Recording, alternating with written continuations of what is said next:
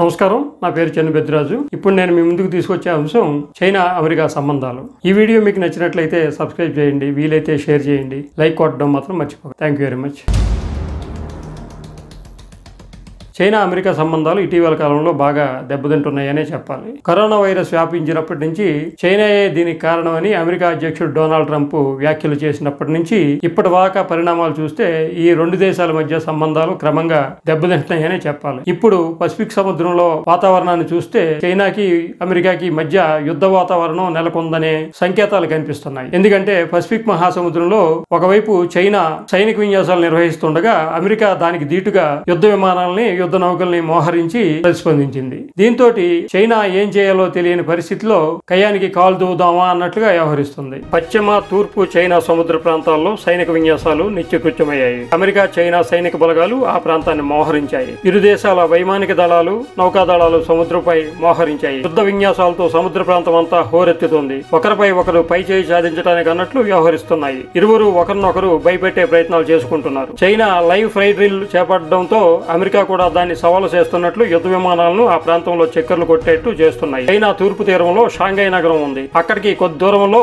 America యుద్ధ నౌక USS Rafale ఫెలాల్టా అంతర్జాతీయ జలాల్లో సంచరిస్తుంది. అదొక గైడెడ్ క్షిపణి విధ్వంసక వాహనం. అమెరికాకు చెందిన జలాంతర్గామి ఒకటి విధ్వంసక యుద్ధ విమానం తైవాన్ జలసంధిలోకి ప్రవేశించింది. యుద్ధ నౌకపైనే అది చక్కర్లు కొడుతూ హల్చల్ చేసింది. అక్కడి నుంచి షాంఘైకి కేవలం డెబ్బై ఐదు కిలోమీటర్ల దూరం మాత్రమే ఉంది. అమెరికా యుద్ధ విమానాలు చైనా భూభాగానికి ఇంత దగ్గరగా ఎప్పుడు వచ్చిన దాఖలాలు లేవు. ఉపగ్రహ చిత్రాల్లో ఈ విషయం బయటపడినట్లు చైనా మేధావి వర్గం ప్రకటించింది. హాంకాంగ్కు చెందిన ఓ పత్రిక కూడా ఈ విషయాన్ని ధృవీకరించింది. చైనా అధికార ప్రతినిధులు ఎవరూ? దీన్ని తోసిపుచ్చకపోవడం విశేషం.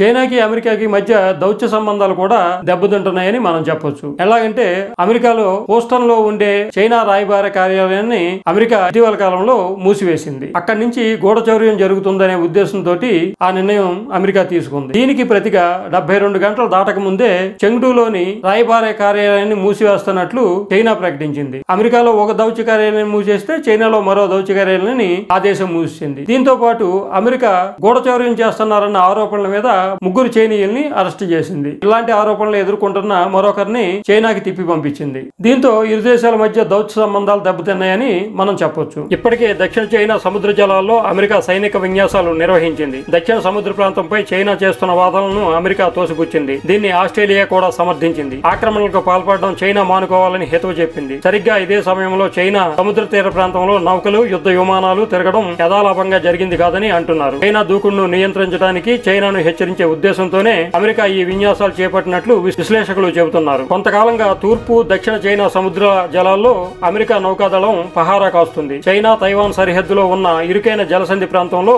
అమెరికా యుద్ధ నౌకలు అటు ఇటు రెండు సార్లు తిరగడం కనిపించింది. మరోవైపు చైనా తైవాన్ను ఆక్రమించవచ్చనే ఊహాగానాలు కూడా సాగుతున్నాయి. ఇప్పుడు ఇండో పసిఫిక్ ప్రాంతంలో పరిస్థితి గతంలో మాదిరిగా లేదు. అంతా యుద్ధ వాతావరణం కనిపిస్తుంది. చైనాను భయపెట్టాల్సిన అవసరం అమెరికాకు ఎందుకు వచ్చిందంటే ఇది కారణంగా చెప్పవచ్చు. దక్షిణ చైనా సముద్ర ప్రాంతంలో అమెరికా చైనా నువ్వా నేనా అన్నట్టు కథం తొక్కుతున్నాయి. ఇదే సమయంలో దక్షిణ చైనా సముద్ర జలాల్లో చైనా పీపుల్స్ లిబరేషన్ ఆర్మీ సైనిక లైవ్ డ్రిల్ ప్రారంభించింది. ఇందులో సైనిక వైమానిక నౌకా దళాలు పాల్గొంటున్నాయి. త్రివిధ దళాలు ఇందులో శక్తివంతమైన మందుగుడును ఉపయోగిస్తున్నట్లు తెలుస్తుంది. ఇది అమెరికాను హెచ్చరించడానికి అన్నట్లు కనిపిస్తుంది. రెండో తేదీ వరకు కొనసాగే ఈ విన్యాసాలు అమెరికాను అదుపులో పెట్టడానికి ఉపయోగపడతాయని చైనా భావిస్తుంది. ఇదే సమయంలో అమెరికా యుద్ధ విమానాలు షాంఘై సమీపంలో ప్రయాణించడం చూస్తే ప్రత్యర్థి చైనాను భయపడడానికే అమెరికా ఇలా వ్యవహరిస్తుందని విశ్లేషకులు అంటున్నారు. ఇది చైనా చేపట్టిన లైవ్ డ్రిల్కు కౌంటర్గా సమాధానం చెప్పడం వంటిదేనని అంటున్నారు. ఒకవైపు ఆకాశంలో యుద్ధ విమానాలు మరోవైపు సముద్ర జలాల్లో అమెరికా యుద్ధ నౌకలు. ప్రదర్శించడం చూస్తే ఇది కాకతాళీయంగా చేస్తున్న పని కాదు. దీని వెనుక లక్ష్యాలు వేరే ఉంటాయని చెప్పక తప్పదు. చైనా లైవ్ డ్రిల్లో యుద్ధ విమానాలను యుద్ధ నౌకలను నాశనం చేసే ప్రయోగాలను వైమానిక దళం చేపట్టిందంటున్నారు. లిబరేషన్ ఆర్మీకి చెందిన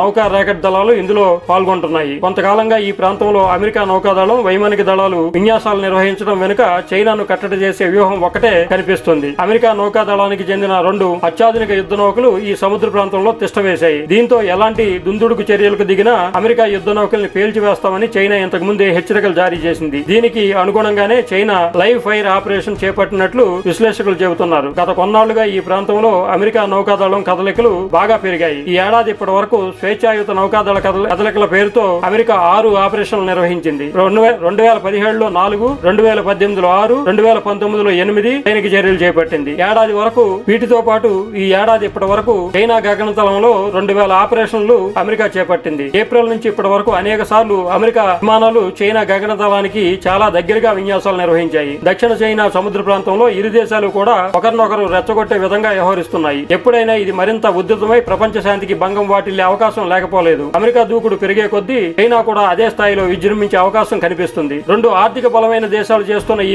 విన్యాసాలు చివరికి ఏ మలుపు తీసుకుంటాయో వేచి చూడాల్సిన పరిస్థితి ఏర్పడింది. ఒకవైపు పసిఫిక్ సముద్రంలో యుద్ధతంత్రాన్ని అవలంబిస్తూనే మరోవైపు చైనాని మరింత సంక్షోభంలో అంటడానికి అన్నట్లు చైనా యాప్లన్నింటిని నిషేధించడానికి ఏర్పాట్లు చేస్తుంది. భారతదేశం ఇప్పటికే ఒక దశలో యాభై తొమ్మిది యాప్లు మరో దశలో నలభై ఏడు యాప్లని నిషేధించి చైనాని సంక్షోభంలోకి నెట్టివేసిందనే చెప్పాలి. దీనికి చైనా ఆగ్రహం కూడా వ్యక్తం చేసింది. ఇప్పుడు అమెరికా అదే దారిలో ఉంది. మొత్తం అమెరికాలో ఉండే చైనా యాప్లన్నీ రద్దు చేస్తే చైనాని ఆధారం చేసుకుని విధులు నిర్వహిస్తున్న అనేక వాణిజ్య సంస్థలు కోలుకోలేని దెబ్బతింటాయని చెప్పొచ్చు. ఇలా అనేక రకాలుగా చైనా సంక్షోభంలో కొట్టుమిట్టాడుతూ నెట్టుకు రావాల్సిన పరిస్థితులు ఏర్పడినాయి. మొత్తం మీద ప్రపంచ దేశాలన్నింటికీ కరోనా వైరస్ వ్యాపించిన తర్వాత ఎక్కువగా బద్నామైన దేశం ఏదన్నా ఉంటే అది చైనా అని చెప్పక తప్పదు. మొత్తం మీద చైనా అన్ని రకాలుగా కూడా ఆటుపోట్లను ఎదుర్కొని ఎదురెదాల్సిన పరిస్థితి కనిపిస్తుంది. Thank you very much. మరి అంశంతో మళ్ళీ కలుద్దాం.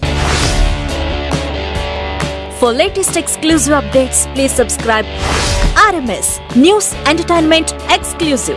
Also like, share and comment. Thank you.